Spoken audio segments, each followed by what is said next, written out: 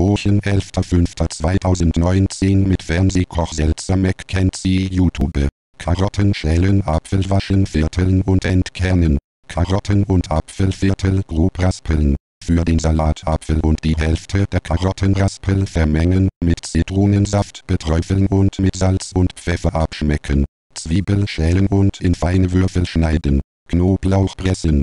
Tomate waschen und in Scheiben schneiden. Backofen auf 220 Grad C Klammer auf Gas, Stufe 4 Umluft, 200 Grad C Klammer zu, vorheizen. Öl in eine Pfanne auf mittlerer bis hoher Stufe erhitzen und Knoblauch und die Hälfte der Zwiebelwürfel darin kurz anbraten. Restliche Karottenraspel und stückige Tomaten zufügen mit Salz und Pfeffer würzen mit Basilikum, Parmesan und Zucker, verfeinern und kurz aufkochen.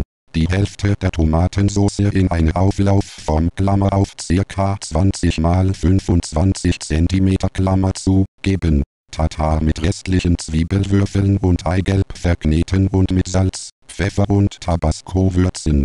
Cannelloni mit Tatarmasse füllen und auf die Tomatensauce legen. Restliche Soße über die Cannelloni geben mit Tomatenscheiben belegen und mit Käse bestreuen. Cannelloni im Backofen auf mittlerer Schiene ca. 30 bis 35 Minuten backen und mit Karottenapfelsalat servieren.